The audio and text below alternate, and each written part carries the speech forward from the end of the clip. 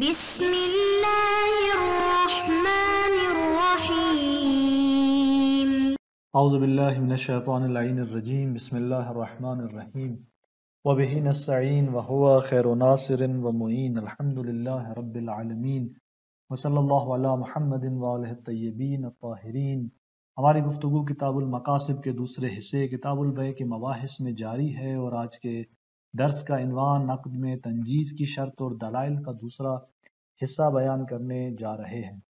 तो इस तरह आज के हमारे इस दर्स के अहम मतालिब में से एक इनवान तंजीज़ की इल्लत का बयान और अल्लामा हिल्ली शहीद अवल का कलाम है कि तंजीज़ की इल्लत के मुतल्लक अल्लामा तस्करा के अंदर और फिर शहीद इस सिलसिले में शहीद अव्वल क्या फरमाते हैं? और उसके बाद अल्लामा हिली और शहीद अव्वल के कलाम पर शेख अंसारी का तबसरा बयान होगा कि शेख अंसारी इस सिलसिले में उनके कलाम से क्या समझते हैं, उनके कलाम को किस चीज़ पर हमल करते हैं। और उसके बाद मौके सानी और शहीद सानी का कायल तफसील होना और कौल तफसील को शेख अंसारी उनके नुक़ नगाह से बयान करते हैं कि जो दरवा के अल्लामा के बयान करदा, उस कौल और नज़रिए के बज़ाहिर मुखालिफ नज़र आता है।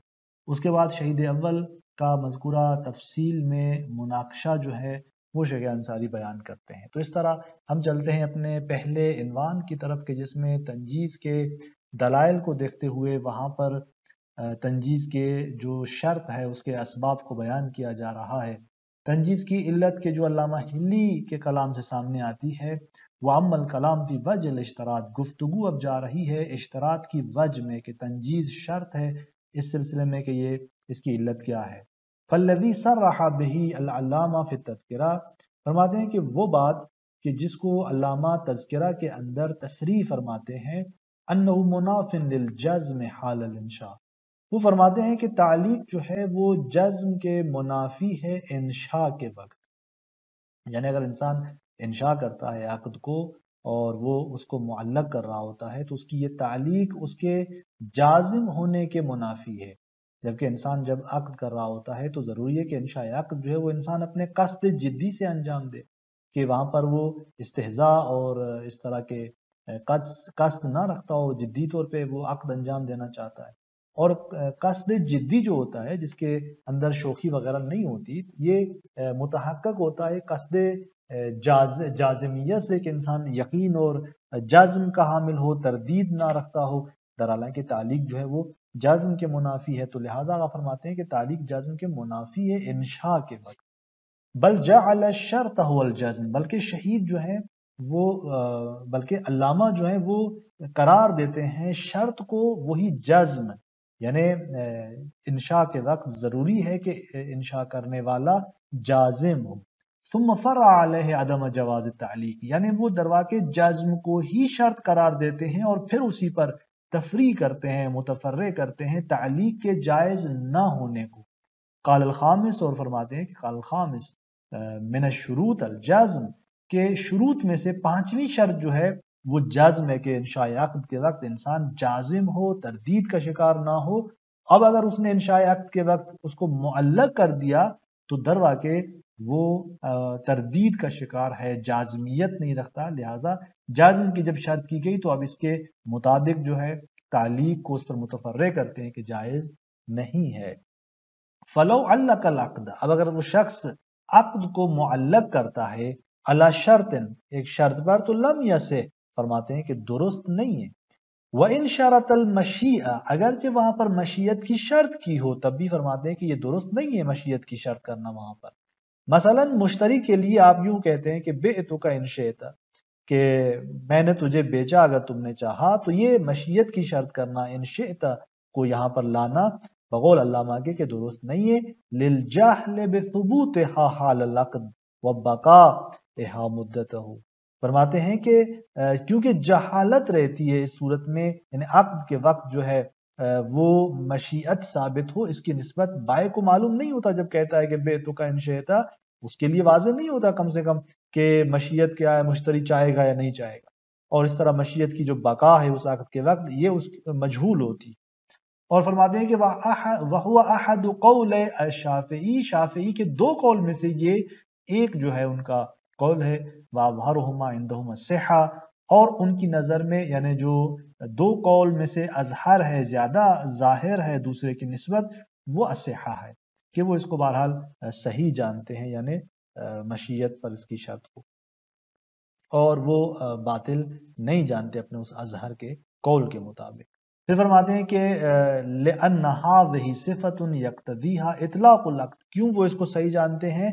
इसलिए कि ये जो मशीयत है, ये एक ऐसी सिफत है कि इतला के अकद इसकी इतजा करता है। यानी अकद का जो इतलाक है, वो इतजा करता है इस बात की कि लम यशा, लम यशतरे चूँकि मुश्तरी अगर नहीं चाहेगा तो नहीं खरीद करेगा। तो कतान मुश्तरी अगर खरीद करता है तो वो उसकी मशीयत से वाबस्ता है। आकद का इतलाक जो है वो खुद इस सिफत की इतजा करता है कि यानी मुश्तरी जो है वो उसकी खरीद किससे हो? अपनी मशीयत से। अगर वो चाहता है तो वो शरा का सीगा जारी करेगा और वो उसे लेगा। तो बहरहाल, ये कहते हैं कि यानी आप इस शर्त को लाएँ चाहे ना लाएँ, खुद इतला के अकद इस शर्त की तकाजा करता है। तो इस एतबार से यानी इस शर्त पर मुल्ला करना मुश्किल नहीं रखता। इंतहा कलाम हूँ यहाँ पर अलामा का जो कलाम है तस्करा के अंदर वो मुंतही होता है। उसके बाद शेख अंसारी रहमत शहीद अव्वल के कलाम को बयान करते हैं कि फरमाते हैं शहीद अव्वल के सिलसिले में कि वह तब आहू शहीद रहमफ़ी कवायद ही। शहीद अव्वल ने किताब कवायद के अंदर अल्लामा की इतबा की है। काल, कहा है कि अनल इंतकाल, यानी इसी मसले पे उन्होंने उनकी इतबा की, यानी वो भी इसको ताली को मुनाफी जानते हैं जज्म के। फरमाते हैं कि क्यों? काला ले इंतकाल बेहुक्म रजा फरमाते हैं कि इसलिए कि इंतकाल जो है वो हुक्म रजा में है। इंतकाल यानी क्या मतलब? यानी असर अकद जो का जो तरतुब है अक का जो असर है। ये फरमाते हैं कि बेहुक्म रजा। किससे मनूत है? रजा के हुक्म से। रजायत जो है वहाँ पर मौजूद हो। वला रजा इलामाल जज्म। और रजायत नहीं है मगर जहाँ पर जज्म हो। अगर जज्म होगी तो रजायत होगी। अगर जज्म नहीं होगी, इंसान मुरद होगा, तरदीद होगी तो वहाँ पर रजायत जो है वो सामने नहीं आती। वल जज्म युनाफी तालीक और आप फरमाते हैं कि जज्म जो है वो तालीक के मुनाफी है, क्योंकि तालीक जो है वो दिलालत करती है तरदीद पर। यानी तालीक से तरदीद सामने आती है, और तरदीद जो है वो मुनाफी है जज्म के। इंतहा तो यहाँ शहीद अव्वल का कलाम जो है वो मुंतही होता है, और इसी अपनी इबारत के अंदर शहीद अव्वल अल्लामा की इतबा करते हुए तालीक को जज्म के मुनाफी जानते हैं। अब शेख अंसारी रहमत इन बुजुर्गान के कलाम पर तबसरा करते हैं और फरमाते हैं कि वह मुख्तवा अल्लामा के इस कलाम का जो मुख्तजा है, वो क्या है? अनल मोतबरा हुआ सिद्ध को अनल मोतबरा हुआ अदम तालीक अलामरन मजहूल फरमाते हैं कि मोतबर क्या है? मोतबर तालीक का न होना किसी अमर मजहूल हसूल पर। यानी आप फरमाते हैं कि अल्लामा के इस कलाम का जो मुख्तजा है, वो ये कि मोतबर क्या है? मोतबर ये है कि वो इंशा अकद मुअल्लक ना हो किसी ऐसी चीज़ पर, ऐसे आमर पर के जो मजहूल हसूल हो। यानी जिसका हसूल जो है वो मालूम ना हो, चूँकि इस सूरत में तरदीद सामने आती है और तरदीद जज्म के खिलाफ है। अब अगर फ़र्ज़ करते हैं कि वो मुअल्लक कर देता है इन शायाकत को मालूम हसूल पर के मिसाल के तौर पर अगर वो उसको मुअल्लक करता है जुमे के दिन के साथ तो जुमे का दिन वो है कि जिसका हसूल जो है वो मालूम है कि जुमे का दिन वकू पजीर होगा। तो इस सूरत में मुश्किल नहीं होना चाहिए इस तरह इन शायाकत को मुअल्लक कर देना ऐसी शर्त पर कि जिस, जो खारिज में मुहक्क होने वाली है, इस सूरत में वो जज्म के मुनाफात नहीं रखती। मसला अगर वो कह देता है कि बेतु का इंतलात शम्स, और फिर यहाँ पर आ कहते हैं कि नहीं कहा जा सकता कि मसलन वो इसमें मुरदद है।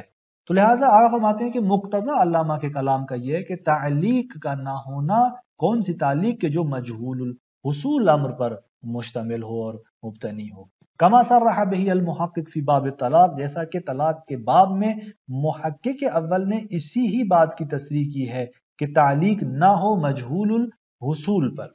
इसके बाद आगा जो है वो महक़ सानी और शहीद सानी के कलाम की तरफ़ इशारा करते हैं कि जो तफसील के कायल होते हैं यहाँ पर और फरमाते हैं कि वह ज़कर अलमहक़ व शहीद सानियान महक़ और शहीद सानी जो है वो यानी महक़ सानी और शहीद सानी।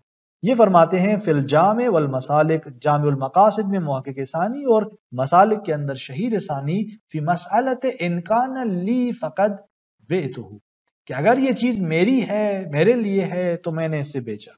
इस मसले के अंदर, कजिया क्या है? देखे, मैं थोड़ी सी यहाँ पर वजाहत दे दूँ कि इनकान अली फ़कत बेतहू को इस तरह से बयान किया जाता है कि मसलन अगर शख्स जो है, वो किसी शख्स से मसलन जैद अम्र से एक चीज़ खरीद करता है और फिर वो आकर खालिद से कहता है कि मैंने तेरी वकालत में इस चीज़ को अम्र से खरीदा है।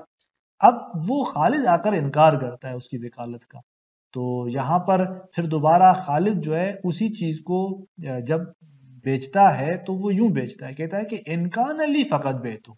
अगर ये मेरी है तो मैंने इसे बेचा। यानी अगर तूने मेरी वकालत में इसको खरीदा है और ये चीज़ मेरी है तो मैंने इसे बेचा। यानी यहाँ पर इनकान ली, इस तरह वो ले आता है इस इंशाए बैम।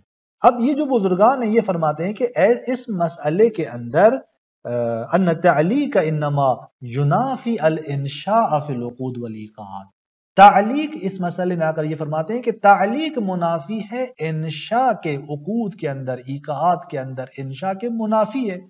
हैसु यकून मजहूल अच्छा कब फरमाते हैं कि जब अलह, के जिस पर उस इंशा को मुअल्लक किया जा रहा है, वो मजहूल हो। पर इससे वाजे है कि इंशा अकद मुनाफी है। इसमें वो आकद के जो मजहूल चीज़ पर मुअल्लक है। और ये बुजुर्गान दर वाके तफसील दे रहे दे रहे हैं कि अगर इंशा को मुअल्लक किया जाए मजहूल पर तो वो इंशा जो है वो मुनाफी है। तालीक वहाँ पर उस इंशा के, उस इंशायाकद के, और वरना दूसरी सूरत में मुश्किल ईजाद नहीं होती। तो इस तरह ये तफसील जो है वो सामने आ रही है इनके कलाम से। फिर आगा फरमाते हैं कि शहीद अव्वल जो हैं, वो मजकूरा इस तफसील की मुखालफत करते नज़र आते हैं। उनके कलाम से वाज है कि वो इस तफसील के कायल नहीं है कि लाकिन शहीद फ़ी कवाद ही, कि शहीद अव्वल जो है, वो अपनी किताब कवायद के अंदर जकर फिल कलामकदम अनल जज्म युनाफियत अली।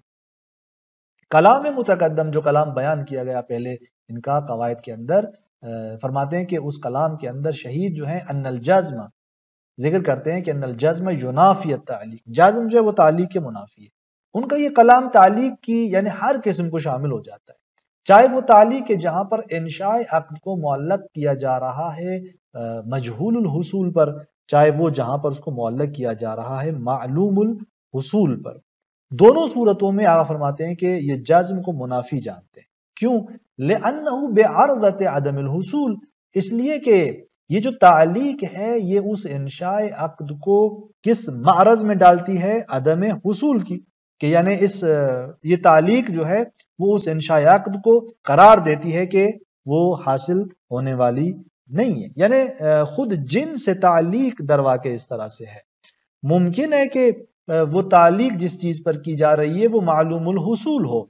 लेकिन चूँकि इंशा को इंशायात को उसने मुअल्लक कर दिया है तो खुद तालीक, जिन से तालीक जो है हकीकत तालीक और उसकी माहियत ये है कि उस इंशायात को उस इंशा के वक्त उसको मारज अदम हसूल में करार दे देती है। लिजा फरमाते हैं कि वलो कुदर हसूल ही गर्च फ़र्ज़ किया जाए इल्म उस तालीक जो उस, उस यानी मुअल्लकुन अलह के हसूल का और उसके हसूल की नस्बत इल्म ही क्यों ना फ़र्ज़ किया जाए उसके बावजूद भी। कर तालीक वस्फ जैसे मुअल्लक कर देना वस्फ। वस्फ यहाँ अदबियात की उस माना में मुराद नहीं है, बल्कि फोकहा के इस्तलाह में वस्फ से मुराद वो चीज़ है कि जिसका हसूल यकीनी है। यानी मालूमुल हसूल है, किसके मुकाबले में? मजहूल हसूल के मुकाबले में। वो के जिसका हसूल कतई नहीं है, उसके लिए वो शर्त का कलमा इस्तेमाल करते हैं, और जिस चीज़ का हसूल यकीनी और मुहक्क हो, मालूम हो, उसके लिए वो वस्फ का कलमा इस्तेमाल करते हैं तो उस माना। कि वलो कुदरल्म बेहसूल ही जैसे मुअल्लक कर देना वस्फ पर यानी ऐसी चीज़ पर जिसका हसूल यकीनी है। और वहाँ पर आगा फरमाते हैं कि मिसाल जैसे मुअल्लक कर देना तुलु खुर्शीद पर अगर खुर्शीद तुलु हुआ तो बे तो, तो अब ये खुर्शीद का तुलु होना तुलु होना उसका जो है वो क्या है? मालूमुल हसूल है। तो इस तरह ये कहते हैं कि चूँकि नफ से तालीक यहाँ पर मुनाफी है इस जज्म के, इसलिए कि वो मारज अदम हसूल में करार देती है उस इंशा को। तो लिहाजा वलो वो मालूम हसूल पर ताली की गई हो दुरुस्त नहीं है। क्यों? लेअनल एतबार बेजिन से शर्त दून अनवा ही क्योंकि मिलाक जो है और एतबार खुद जिन से उस शर्त की नस्बत है, न उसके अनवा की तरफ़। आम, बस मोतबर जो है वो माने आम है। खुद उस शर्त की दोनों खसूसियात अफराद अब खसूसियात अफराद यानी उसका मालूम हसूल होना या उसका मजहूल हसूल होना ये खसूसियात जो है वो मद्देनजर नहीं है बल्कि यहाँ पर खुद वो माना जो है आम वो जो जिन्स की शर्त की जो जिन्स है वो खुद जो है यहाँ पर मोतबर है तो इस तरह खुद अगर उसके देखा जाए असल तालीक को यानी नफ्स उस शर्त को देखा जाए जिस पर उसको मौलक किया जा रहा है तो खुद ये शर्त इसकी जो जिन्स और हकीकत और माहियत है, वो जाजम के मुनाफी है। तो इस तरह शहीद अव्वल दरवा के महक़ सानी और शहीद सानी जो जिनके कलाम से तफसील सामने आ रही थी कि वो तालीक जो कि मजहूल हसूल पर इंशा को मौलक किया जा रहा हो उसको मुनाफी जान रहे थे इंशा के तो वहाँ पर ये बुजुर्गार शहीद अव्वल फरमाते हैं कि नहीं, मुतलका तालीक जो है वो जाजिम के मुनाफी है। चाहे वो, यानी खसूसियात अफराद उसमें, चाहे वो मालूम हसूल पर मुल्लक हो, चाहे मजहूल हसूल पर मुल्लक हो। इन अगले दर्स के अंदर जो यहाँ पर मजीद इश्काल और जवाब बयान किया जाएगा उसे हम बयान करते हैं जो अलामा इश्काल और जवाब को यहाँ पर बयान करते हैं और मजीद जो इस सिलसिले में आगे बहस है। वसलाम वरहमल वबरकू